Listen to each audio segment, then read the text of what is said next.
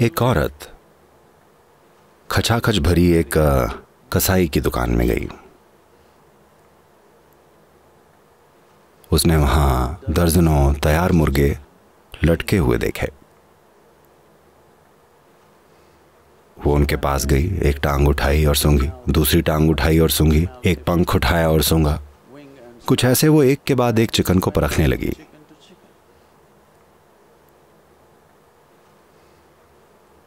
फिर कसाई आया, उसके कंधे पर थपकी दी और बोला, मैडम,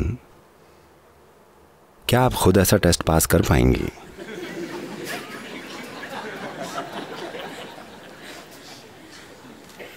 नहीं कर पाएँगी।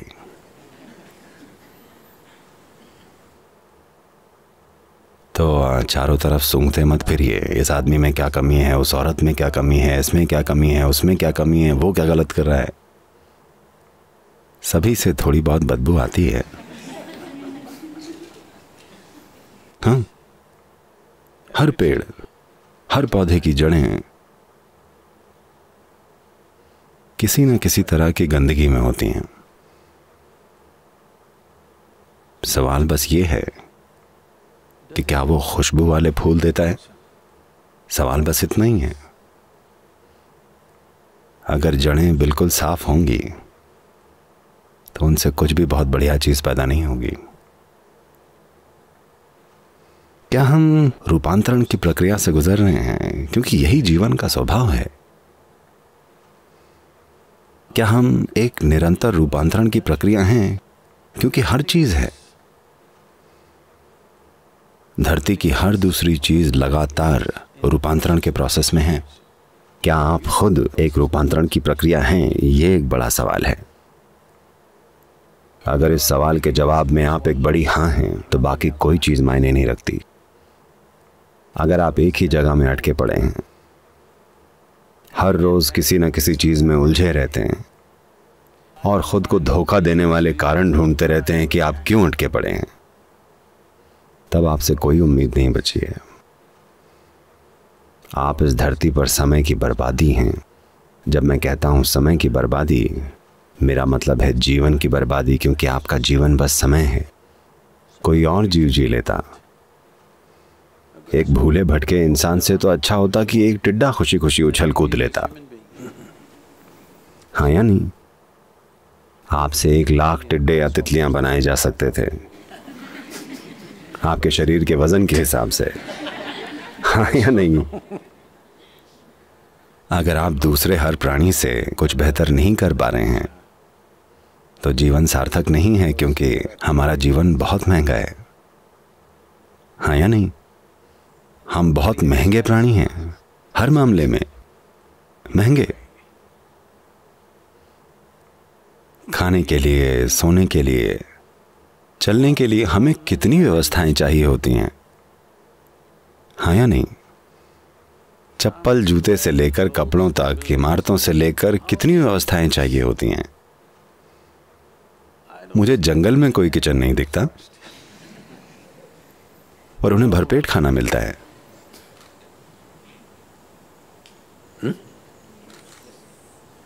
ना ही कभी अपने हाथी को जूते पहनकर घूमते देखा है।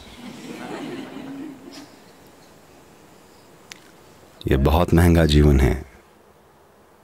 इतना खर्च होने के बाद इसे कुछ बेहतर करना चाहिए। दूसरे सारे प्राणियों से बेहतर कुछ काम। हमने एक प्रजाति के रूप में मानव जाति के रूप में कई बुरी चीज़ें की हैं, कई अद्भुत चीज़ें भी की हैं, पर अपने हर बढ़िया काम के लिए, हमारे पास दिखाने के लिए कम से कम एक बुरी चीज़ है, अगर और ज़्यादा न भी हुई तो। आध्यात्मिक प्रोसेस का मतलब बस ये है कि आप हर रोज अपनी बुरी चीज़ों को घटाते जाएँ। कोई बुरा विचार, कोई बुरी भावना, कोई बुरा शब्द, कोई बुरा काम हर रोज एक कम करते जाइए। आप एक दो महीने में बहुत आगे बढ़ जाएँगे। क्या मैं आपको कम आंक रहा हूँ? कि मुझे लगा आप में बस तीस बुरी चीज़ें हैं।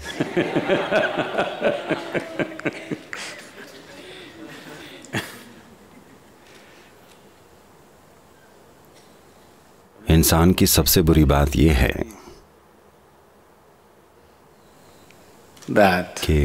they are so busy with their own staff they don't feel the pain and suffering and what other life is going through. वो अपनी ही चीज़ों में इतने बिज़ी हैं। उनको दूसरे प्राणियों का दर्द, उनकी तकलीफ़ और कुछ भी महसूस नहीं होती। संवेदनशील नहीं है। संवेदनशील न होना सबसे भयानक अपराध है। क्योंकि अगर हम संवेदनशील होते, अहंकार के प्रति नहीं, जीवन के प्रति। अगर हम जीवन के प्रति संवेदनशील होते तो हर वो चीज़ जो हम कर पाते, वो हम हमेशा करते। जो हम नहीं कर सकते, उसका क्या कर सकते हैं? हम नहीं कर सकते, बस। पर हम जो कर सकते हैं, वो हो जाता। एक सूडानी आदमी था। आपको सूडान पता है? दो सूडान हैं। आपको पता है? हेलो? दो सूडान हैं। सूडानी लोग, ऐसा माना जाता है, मैं इसका विशेषज्ञ नहीं हूँ, ऐसा कहा जाता है कि अधिकांश सूडानी लोग भारतीय मूल के हैं। वो अब भी डोसा खाते हैं। उनकी संस्कृति हमारे जैसी ही है। वो बहुत हद तक भारतीयों जैसे दिखते हैं। वो अफ्रीकी आबादी के साथ घुल मिल गए हैं। पर वो कुछ हज़ार साल पहले ही वहाँ गए हैं। तो एक सूडानी आदमी माराकेच में एक ऊंटों के बाज़ार में गया, मुरक्को गया। वहाँ एक बहुत प्रसिद्ध ऊँट बाज़ार है। एक ऊँट बाज़ार राजस्थान के पुष्कर में भी है। तो वो अपना ऊँट बेचने गया। तो उसने पाया, बाज़ार में जितने भी ऊँट थे, सारे के सारे उसके ऊँट से काफ़ी बड़े थे। तो उसने चारों ओर देखा, हर ऊँट उसके ऊँट से बड़ा था। तब उसने बर्बर आदमी से पूछा, बर्बर एक जनजाति है बर्बरता शब्द इसी जनजाति से आया है। वो बर्बर आदमी अपने बड़े ऊंटों के बीच वहाँ बैठा था। इसने पूछा, आपके ऊँट इतने बड़े कैसे हैं? और मेरे बमुश्किल आपके ऊंटों के आधे हैं।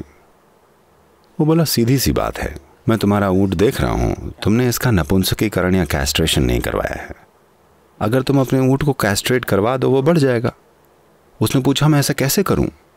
वो बोला, बहुत आसान है। दो ईंट लो और ऊँट के अंडकोशों को फोड़ डालो। और उसके बाद तुम्हारा ऊँट बहुत बड़ा हो जाएगा। क्या इससे दर्द नहीं होगा? उसने पूछा। वो बोला, बिल्कुल नहीं, मैं तुमको दिखाता हूँ। और वो एक ऊँट लेकर आया, दो ईंटें ली और अंडकोश फोड़ दिया। ऊँट दर्द से करा उठा और भागा। इस सुडानी आदमी ने पूछा, पर आपने बोला था दर्द नहीं होगा? अरे, दर्द सिर्फ़ तब होता है अगर आपकी उंगली ईंटों के बीच आ जाए।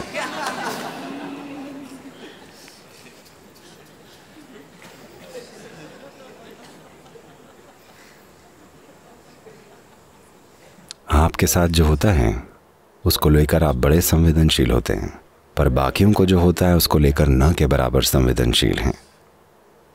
ऐसी हालत में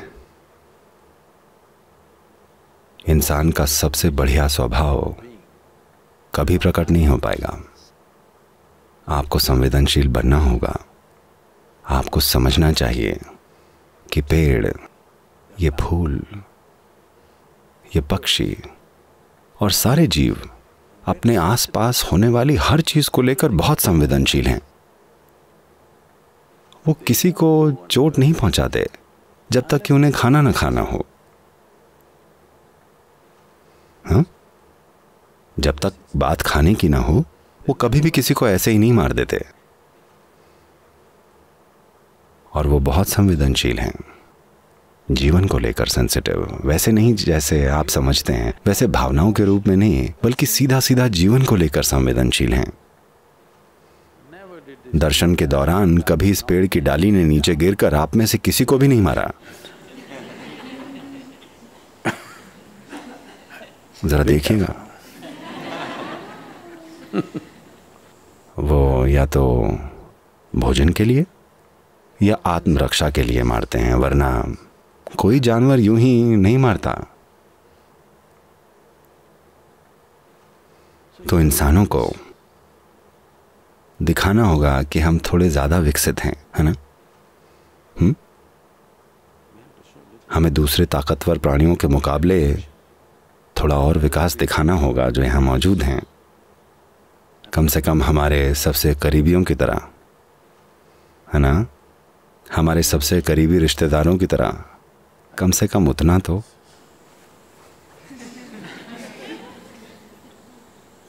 हाँ मैं जानता हूँ कि दुनिया में संसाधनों के लिए मुकाबला है। हर चीज़ के लिए मुकाबला है। और यहाँ वहाँ थोड़ा टकराव ज़रूर होगा। मैं उन चीज़ों से अनजान नहीं हूँ, पर मैं चाहता हूँ कि आप कम से कम अपने भीतर होने वाले टकराव को ख़त्म कर दें। वैसे भी आपको उससे कुछ मिलता नहीं। ऐसा होता है कि नहीं? अपने आप? आप हर मुर्गे को ऐसे सूंघ रहे हैं, पर आप उस टेस्ट में खुद पास नहीं होने वाले।